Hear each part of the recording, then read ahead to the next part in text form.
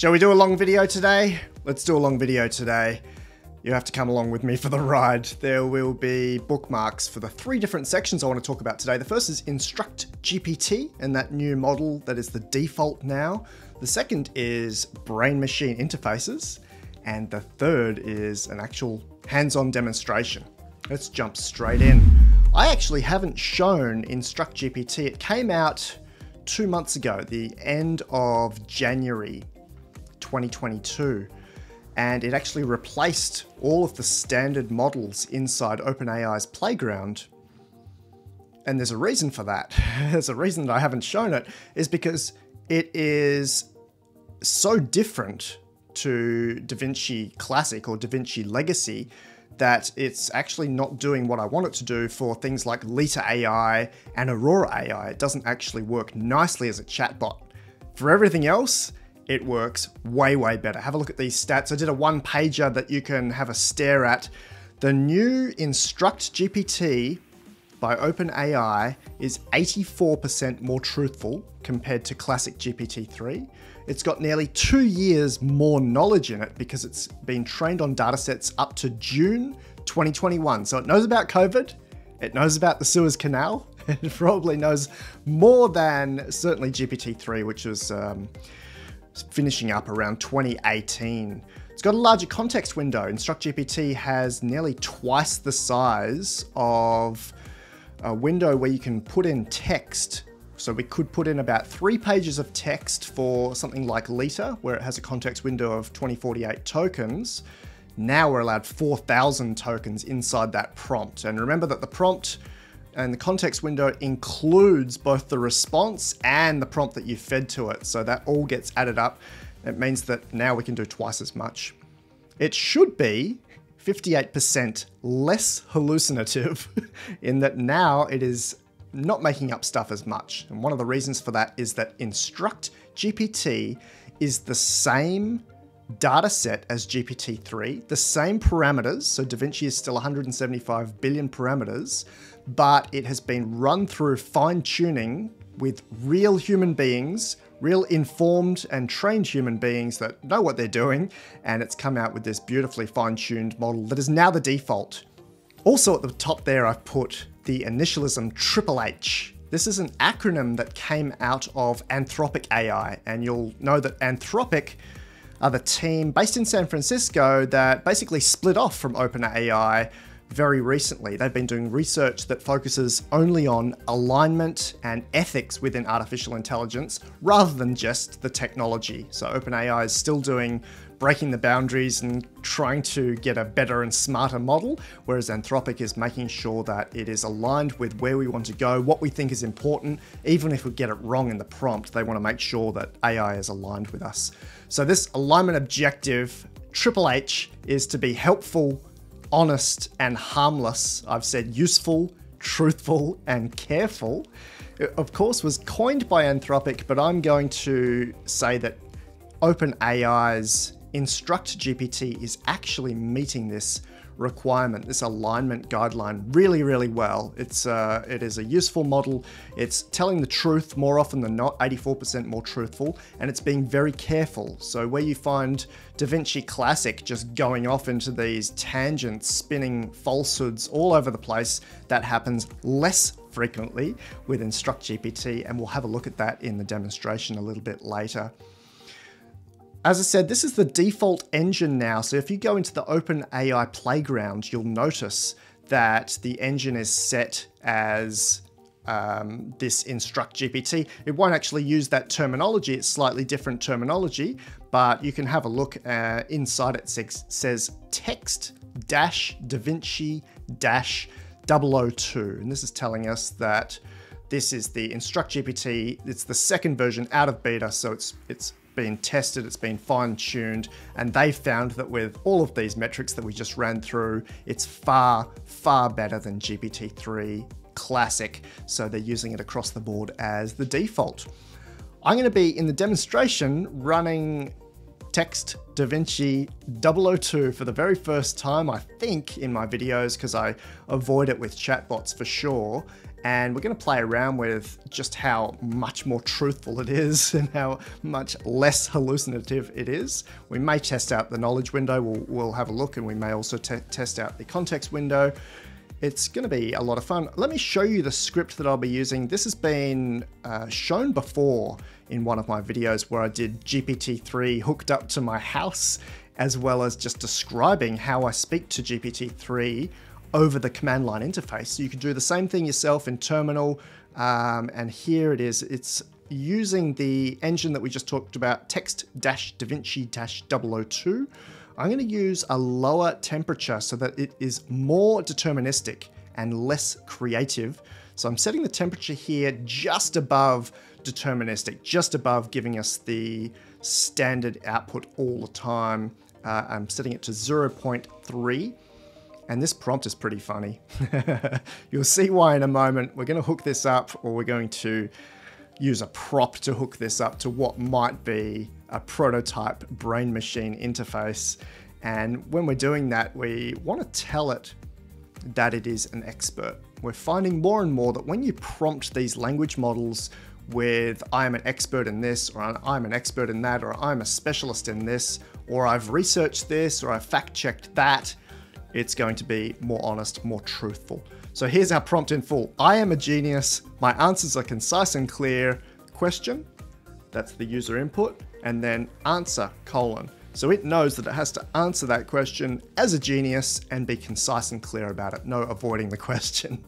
I'm also trimming down the response to 40 tokens, uh, which is not very much, but that's okay. I want to make sure that it can do essentially an SMS's worth of output just under that. Okay, BMIs, brain machine interfaces. You may have also heard these called BCIs, brain computer interfaces. At the moment, we actually haven't standardized the terminology, so you might even see BMI slash BCI. I'm using BMI today, and the reason for that is a lot of my partnerships or memberships use this. So have a look at places like IEEE, some of the big journals. Elon Musk's Neuralink is calling it a BMI. Uh, right next door to me, well, across the country from me, the University of Queensland with their massive Brain Institute also uses this BMI ter terminology, whereas BCI, yes, it's being used also by the IEEE. We'll talk about Openwater using it, and of course, it's in Wikipedia. A lot of people lean on Wikipedia as their single source of truth. But just for today, I'm going to be using the phrase or the initialism BMI to refer to a brain machine interface. You may have seen my videos already about how we can hook up the brain to these kind of language models, these large language models like GPT-3, and there's been so much progress made in this in the last few years. You will have seen Elon Musk's Neuralink, where they've got a wired interface. They actually remove a very small section of the skull and insert some very, very fine wires, finer than even uh, a hair, directly into the brain. You may know also about DARPA's beautiful uh, BMI that's already getting traction.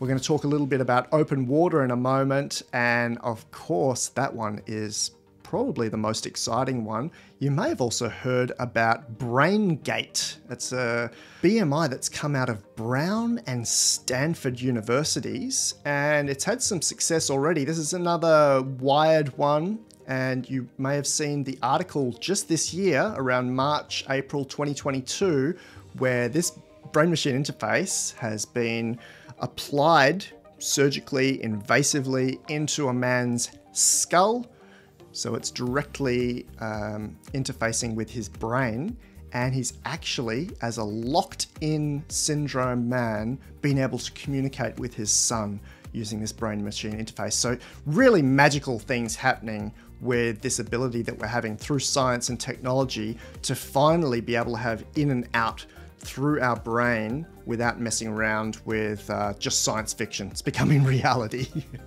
I mentioned Openwater just a moment ago. Dr. Mary Lou Jepsen was part of Facebook, an executive at Facebook, now Meta.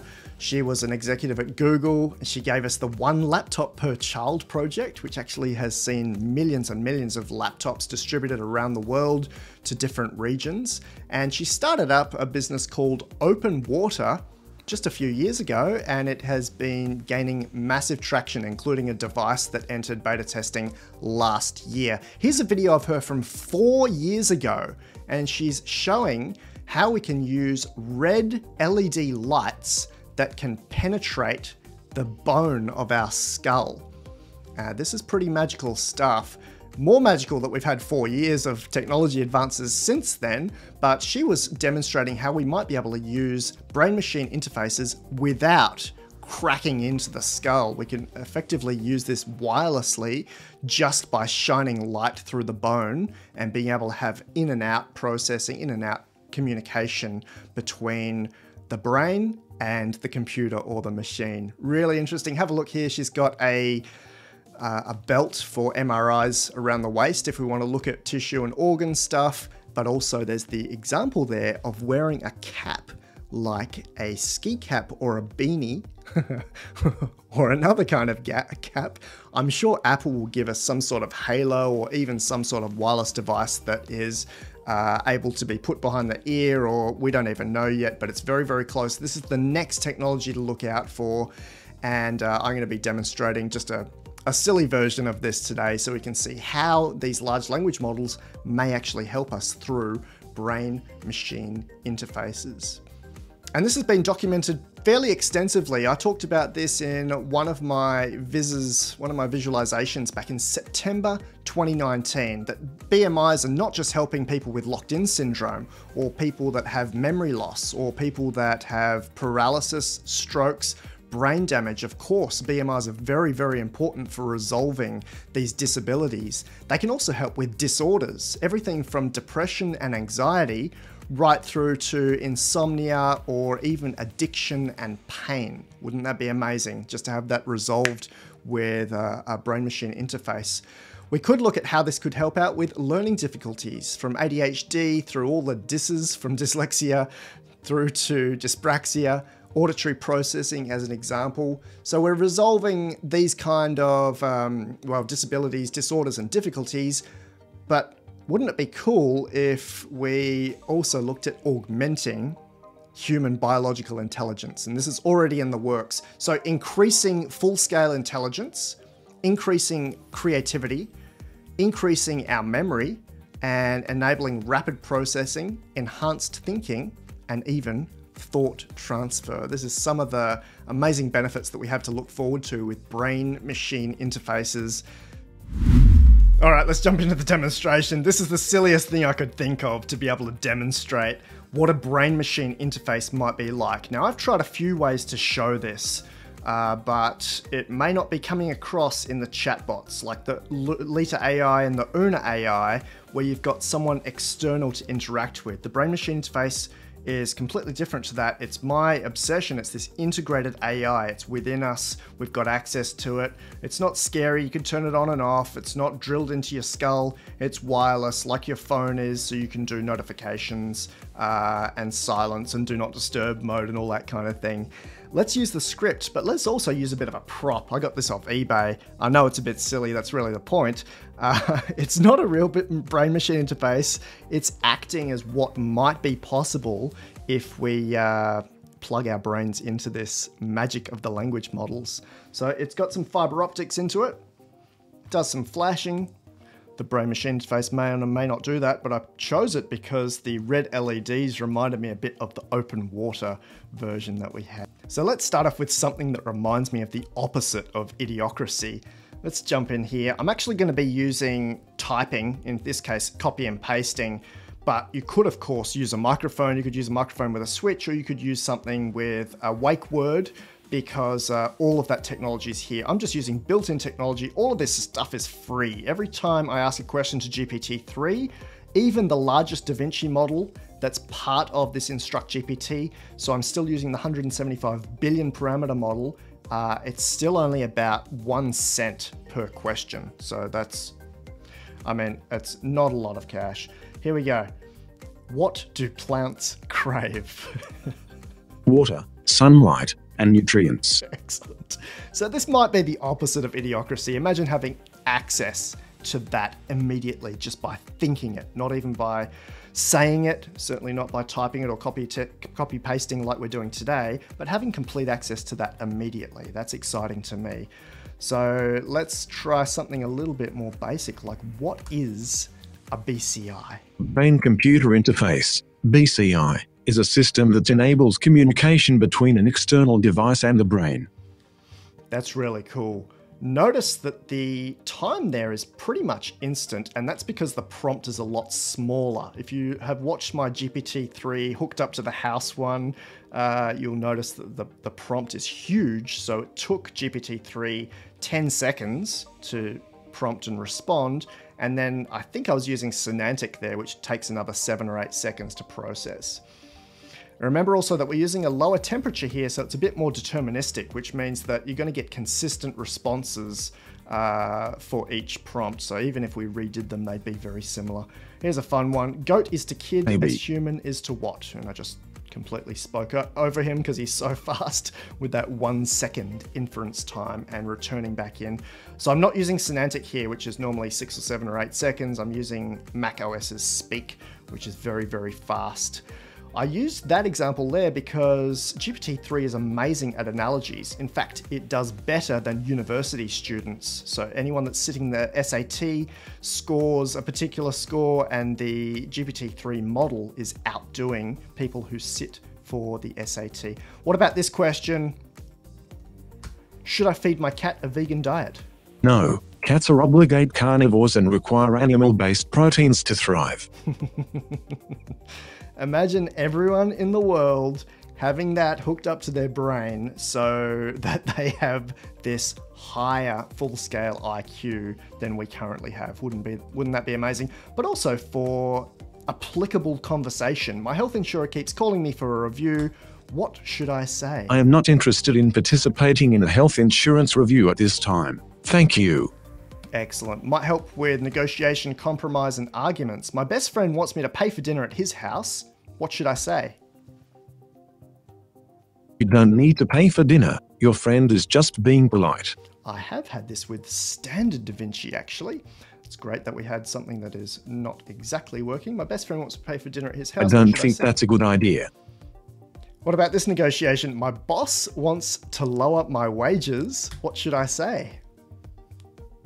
There are a few things you could say in this situation. You could try to negotiate with your boss and explain why you deserve to be paid more. You could also look for another job that. Notice he cuts off there after 40 tokens. This one might be very useful at a restaurant. Of course, you've got calculator on your phone. You may or may not be able to do this with some of the um, intelligent assistants already, but what about split a $226.50 bill three ways? What's the total plus 20% tip for each person? The total is $271.80 and each person would pay $90.60. Amazing. I haven't checked the math there. Note also that GPT-3 was not trained explicitly on maths it went and taught itself maths. It taught itself the operators, it taught itself the equal sign and what happens on both sides of that sign. Incredible stuff. What about this one? Let's have a play with this one. Why is my belly swollen? You are pregnant. Pregnancy causes the belly to swell as the baby grows inside the mother's womb. Maybe not. Let's uh, let's give it a bit of a heads up there. I'm a man. Why is my belly swollen? there could be many reasons for a swollen belly in a man, including fluid retention or bloating, constipation, overeating, gastritis or other stomach. Excellent. He cuts off there after 40 tokens. You could, of course, make that uh, not quite 4,000 tokens because we've still got a prompt in there, but you could make that a lot longer, nearly a thousand, oh sorry, nearly a hundred times longer. Fly me from Perth to London. Besides direct, Give me three options for transit. 1. Perth to London via Singapore 2. Perth to London via Dubai 3. Perth to London via Hong Kong. Awesome. I think they are all real options. Let's have a jump into this one. My friend wants to meet for lunch today. I need more protein. Where should we go? If your friend wants to meet for lunch and you need more protein, why not try a local salad bar or sandwich shop? You can usually find something there that will fit your needs. Excellent. I'm really looking forward to getting that truth percentage up even higher. We saw that Instruct GPT is 84% more truthful than classic GPT-3, but all of the labs are working now on groundedness and making sure that these models are fact checking or at least not lying on the way out. So let's try that same prompt again, not changing anything. My friend wants to meet for lunch today, need more protein. Where should we go? If your friend wants to meet for lunch and you need more protein, you could go to a restaurant that serves salads or soup. That is a that is a pretty poor uh, response there. Is he going to give us anything better? If your friend wants to meet for lunch today, I don't think so. I'm not going to let him finish. What about also having tailored and instant meditations and affirmations sent to your brain? I'm a genius. I have a photographic memory. I can recall any information instantly and accurately. My mind is clear, focused, and calm. I am able to think clearly and make decisions quickly. Excellent. Just a bit of a play today uh, with my fake doesn't do anything brain machine interface flashing hat just to show what I am seeing for the next piece of major technological progress. We've already got the large language models, and some researchers are being quoted as saying this is artificial general intelligence. Some are being a little bit safer and saying this is definitely the pathway to artificial general intelligence. We've also got brain machine interfaces, and they're going very, very well. This is all very, very exciting in terms of progress. Look out for brain machine interfaces being combined with large language models coming very soon. In some cases, already here, um, certainly in testing and research. So I'm very, very keen to see that get into the hands of consumers. Picture something again like Apple, where it might be a halo headband uh, on top or around the forehead. It might be something behind the ear. It might be something that even hangs like necklace and has something that can uh, be encoded directly to your brain. It's going to be fascinating to be able to play around with this directly. I'm considering doing a live stream version of this Instruct GPT so you can ask questions directly. Uh, and if you'd like to do that, please leave a comment down there and we'll get it set up because it will be great to have questions that come in live and you can also see just how quickly GPT-3 and the voice respond. It's so, so fast. As you saw there, sometimes in one or two seconds, macOS's speak is nearly instant. Fantastic. Thank you so much for joining me for a longer video today. If you'd like to contribute to independent research into bleeding edge artificial intelligence, including funding for the next major iteration of Leta AI, head to lifearchitect.ai slash gift.